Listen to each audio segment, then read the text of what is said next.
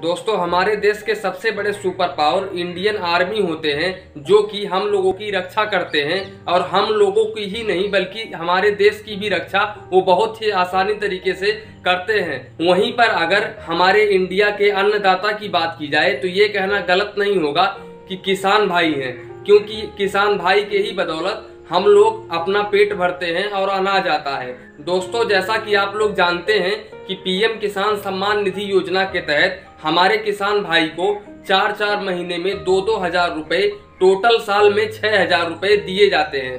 अब तक हमारे किसान भाइयों को ग्यारहवीं किस्त का पैसा ट्रांसफ़र किया जा चुका है, लेकिन अब आप लोगों के मन में एक डाउट होगा कि बारहवीं किस्त का पैसा कब आएगा। तो दोस्तों, मीडिया रिपोर्ट्स के अनुसार बारहवीं किस्त का पैसा 15 अगस्त तक आ सकता है, क्योंकि 15 अगस्त को हमारा देश आज़ाद हुआ था।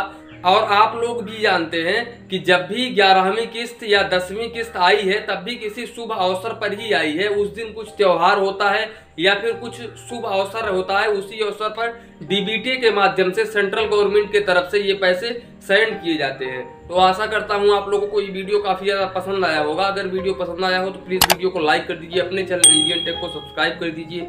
मन में कुछ डाउट हो, कन्फ्यूज़न हो तो प्लीज़ कमेंट करिए।